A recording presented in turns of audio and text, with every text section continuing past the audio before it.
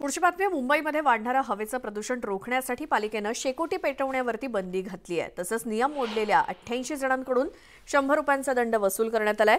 कचरा plastic tyre जाळून शेकोट्या पेटवल्या जात असल्यामुळे ही कारवाई करण्यात आल्याचं पालिकेनं सांगितलंय. आता हिवाळ्यात शेकोट्या पेटवणाऱ्यांवरती आणखी कडक कारवाई करणार असल्याचं प्रशासनानं सांगितलंय. मुंबईत हिवाळ्यात आर्द्रता वाढल्यानं हवेत धूळ वायू विषारी धूर जास्त वेळ टिकून राहत असल्यामुळे प्रदूषण वाढत असल्याचं समोर आलंय.